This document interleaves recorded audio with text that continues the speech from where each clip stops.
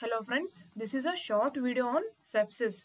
What is this sepsis steps? It includes SIRS, sepsis, severe sepsis and septic shock.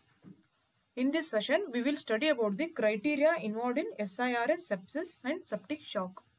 First one is SIRS, that means systemic inflammatory response syndrome.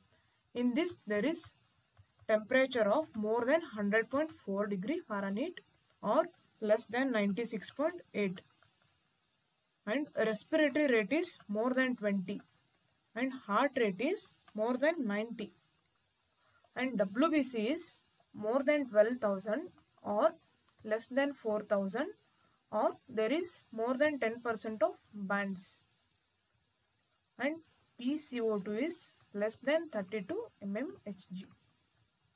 So these are the criteria of SIRS. What is sepsis? Sepsis includes SIRS, that means all these criteria, plus there is suspected or confirmed infection. There is confirmed or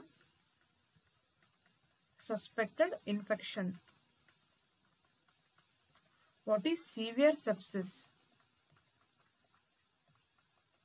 Severe sepsis. It includes sepsis that means SIRS plus infection plus there is signs of end organ damage. There are signs of end organ damage and there is low BP that is hypotension. Systolic blood pressure is less than 90.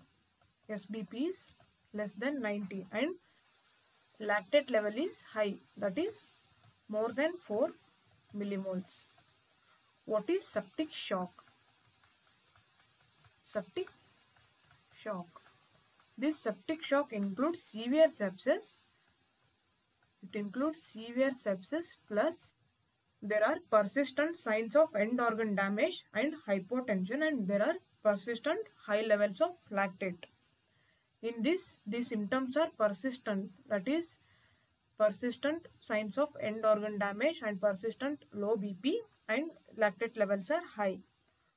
So, this is a short discussion on sepsis steps which includes SIRS, sepsis, severe sepsis and septic shock. You should remember the criterias and what is the difference between all these four.